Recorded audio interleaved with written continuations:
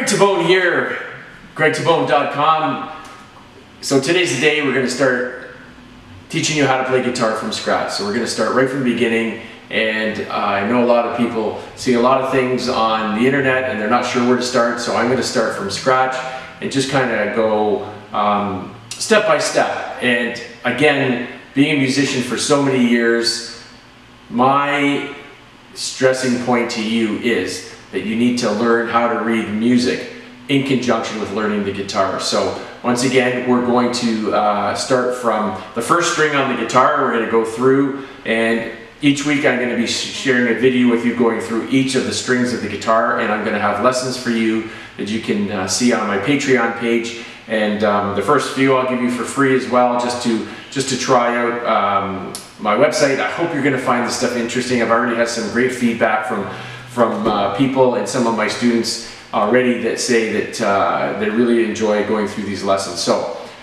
lots to talk about when you're just starting guitar and again parts of the guitar when you pick up a guitar for the first time if you're not sure what to, to do it's just like a person. We have the head the neck and the body and uh, we have the tuning pegs here which adjusts the, the tension on the strings. We have the nut of the guitar and then up the guitar neck we have frets and depending on the acoustic or electric model or semi-acoustic model uh, you can have anywhere from 20 frets to 24 frets and all kinds of variations uh, in the future right now. Across here we have the bridge and um, here are the pegs holding the strings in on an acoustic guitar. Here's your pick guard and we have the sound hole and then you have your strap button on the end and uh, you might have, if you have a pickup mounted in yours, um, as this one does, you might have some volume knobs or whatever on the guitar so they're pretty much all the same.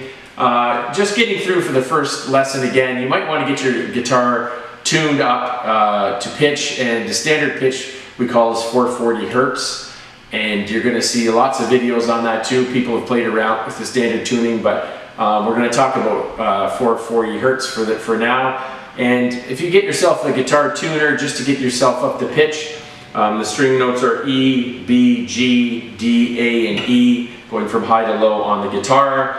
Um, and just a couple things about the guitar. As I'm teaching you how to read music um, on the treble clef, and um, so there's a little bit of theory involved in it. But one thing I want to tell you right off the get-go is that when guitar reads music, the pitch for the note is actually an octave lower than it sounds when you read the music, and not many guitar players uh, know that piece. But that'll make more sense to you as we get along in the videos and I explain a little bit more with, uh, with regard to that. For these lessons, I'm going to give you the tried and true uh, practice methods that I have taught students over the years that really helps them through uh, the notes. And again, um, the next thing I want to just talk about is the fingering for your guitar on the left hand. If you're left-handed, you'll be fretting the notes. Again, if you're right-handed, your guitar will face the other way.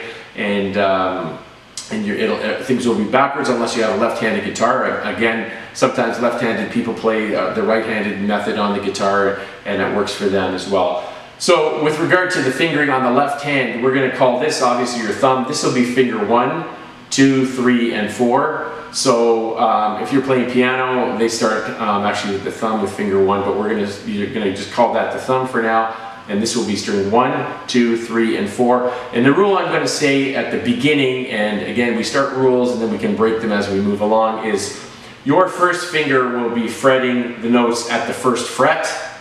Your second finger will be fretting the notes at the second fret. Your third finger will be fretting the notes at the third fret. And your fourth finger will be fretting notes at the fourth fret. So whenever we have notes on those, I'd like you to stick to that rule later. The best thing about rules is um, there's always rules that can be broken for specific reasons, and I find that's really important for, uh, for guitar to start right from the get-go with the, that fingering piece, try and stick to that as you're going through the notes. And um, so an exercise you might want to try again is just moving, fretting through the notes. And um, with regard to the right hand, now there's several ways you can play. You can play with a plectrum or a pick. We like to call this a pick. And I like to use a hard pick. People have, uh, again, can, I would suggest you try different pick strengths. Some are very, very soft, and when you play them, they actually um, will flick back and forth a little bit, and I'm not too fussy on that um, picking action. I like to have a very, very strict pick, so when I pick, I can tremolo and I can do things really, really fast. But once again, um, that's another feature that you can try and experiment with. And over the years, I've changed picks as many times as I've changed strings on the guitar. So just to get you going on that. What I'm going to ask you to do for the right hand is to hold the pick with your thumb and your index finger on the right hand so that your thumb is pointing the ceiling and then your pick is pointing at a 90 degree angle to that. So it's coming up and across. I like to use just my thumb and my uh, first finger. Some guitarists use two fingers and the thumb. Uh, some guitar players uh, use their middle finger and their thumb, keep this finger open for doing harmonics. Once again, where do you start? I suggest, uh, as you're learning, that you try the standard way, which is just these two fingers. Some people, again, like to put their pinky finger on somewhere on the pick guard to guide them when they're playing some of these notes, um, and then some people don't. So once again, I would experiment with those and, uh, and just try and play through those. So just to get started on the guitar, what I'd like you to do again is put your thumb just at the back of the neck. Um, typically when we're playing, we don't like to see the thumb way up here. Uh, later on you'll see chords, there's some chords we can play with the thumb. But standard good technique is that the thumb is just at a comfortable position behind the neck, maybe just peeking over a little bit. Once again, you don't want it up here. And we fret the note and we fret the notes on the tip of the finger. And the note is not fretted on the fret, but just slightly behind it. And again, with good technique, you don't have to press really hard. So as a beginner guitarist or, or um, if you've picked up an instrument you've had for a long time, the first thing you're going to see is on your guitars when you play the notes, are the strings too high off of your guitar? And that's called the action, and that can be adjusted um, first of all by strength uh, of your strings. It could be thicker or thinner strings. Or the other option is that you get your bridge adjusted. Um, you can have it, the action raised or lowered by adjust, uh, adjusting the truss rod. Again, that should be left to professionals unless you know what you're doing with that. But again, if you find your guitar really hard to play, I would suggest bring it into a, music store, or someone professional, just to have your guitar set up. Um, and again, if you're starting, you might want to start off with some lighter strings and move forward. So the one exercise I'd like you to try right now, we're going to pick all these notes down, is just fretting the open string. Then put your first finger on the first fret, your second finger on the second fret, your third finger on the third fret, and your fourth finger on the fourth fret. So you can practice that for a few minutes, just playing open.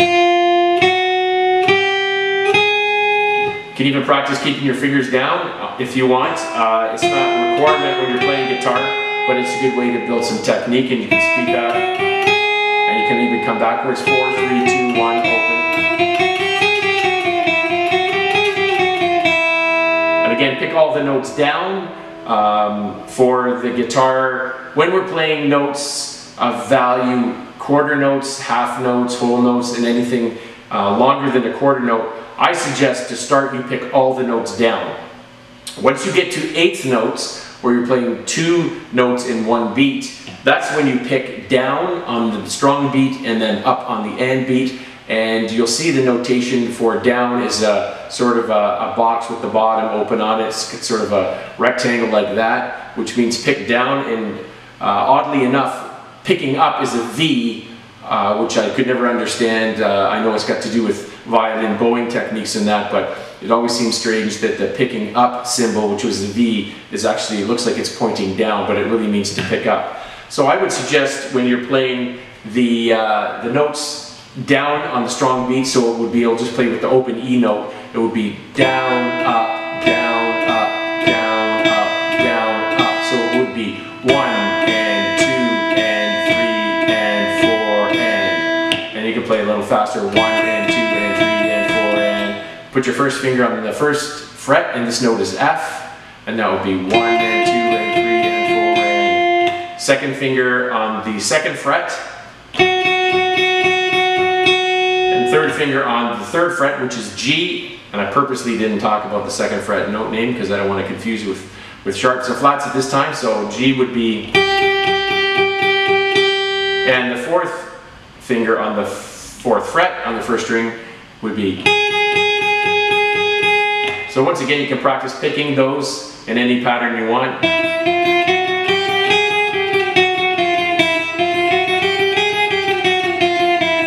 and that's picking down and up on those notes.